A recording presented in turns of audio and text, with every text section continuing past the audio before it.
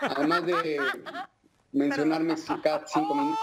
¿Ya estás suscrito al canal? Activa la campanita para que te lleguen nuestros videos. El equipo de Exclusivas TV. Eugenio Derbez acusa a Victoria Rufo de mencionarlo cada cinco minutos. El comediante Eugenio Derbez hizo tremenda revelación luego de ser cuestionado si incluiría a su ex Victoria Rufo en su nuevo formato, ahora que piensa realizar videollamadas con una temática interesante. Ante esto, Derbez respondió con inteligencia dejando con la boca abierta a todos. Tú tendrías eventualmente una conversación con Victoria. Por favor, yo creo que para tus fans queremos morirnos de la risa con eso. ¡Ay! Se conecta, con mucho gusto hablo con ella. Vamos a estar en el Instagram Live. Es que si Victoria se quiere conectar para que nos dé consejos de cómo se entretiene. Además de mencionarme cada cinco minutos. Es que Por eso que te queremos tanto, Eugenio Derbez. Oye, pero está pidiendo una buena... Ahora que el actor acaba de lanzar un nuevo proyecto, desde la comodidad de su casa, contó cómo surgió la idea.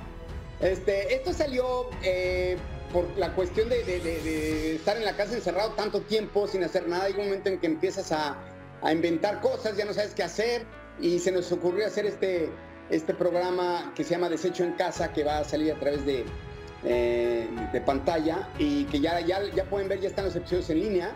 Eh, así es que eh, están muy divertidos, son cosas que hago en casa. O sea, es un programa hecho en casa por alguien que está deshecho en casa. Pero déjame decirte que también este, hoy quiero hablarles de otra cosa, de otra iniciativa que estamos haciendo que se llama En Casa con Derbez, que es diferente. Es muy parecida, pero es diferente. Pero misma casa. En Casa con Derbez De igual manera fue cuestionado acerca de la lección que le dejó participar en Tijuana como defensor del público. Híjole, pues mira, fue muy complicado. Eh, yo lo único que quise hacer es ayudar. Me contactaron los doctores de, de la clínica de Tijuana para conseguirles material. No están pidiendo dinero ni nada, nada más querían que se les ayudara con mascarillas y demás.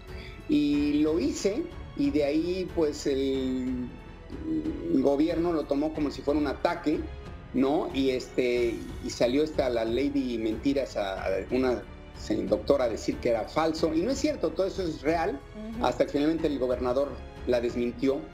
Pero fue eso, nada más eh, la idea era, era poder ayudar a, la- a los hospitales a conseguir insumos para poder atender a los pacientes Claro. y de repente le preocupó más al Seguro Social ocultar la verdad que curar a la gente. Qué triste. Pero afortunadamente ya pasó, ya se aclaró.